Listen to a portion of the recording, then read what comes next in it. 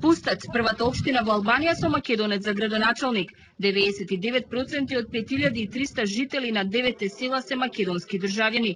Апелираат новите македонски пасоши да ги добијат во поблиските Ресен, Охрид или Битола, кон кои се проширува граничниот премин стење. Болните бесплатно се лечат во Македонија, а младите студираат на државните универзитети. Пустет се гради, се прават патишта, тротоари, се уредува местото за да стане атрактивно за инвестиции. Плоштадот го носи името Гоце Делчев.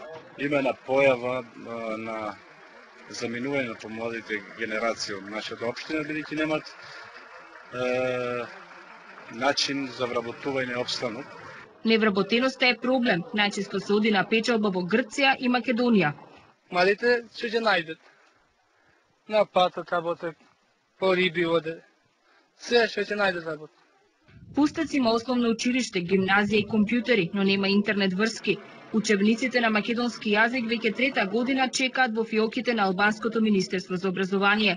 Проблем е снабдувањето со вода за пиење и електрична енергија. Од политички причини албанската влада одбива пустец да користи струја од Ресен. Многу убаво до сега, ама сега за шушка вода, имаме за, за вода, така што немаме толку.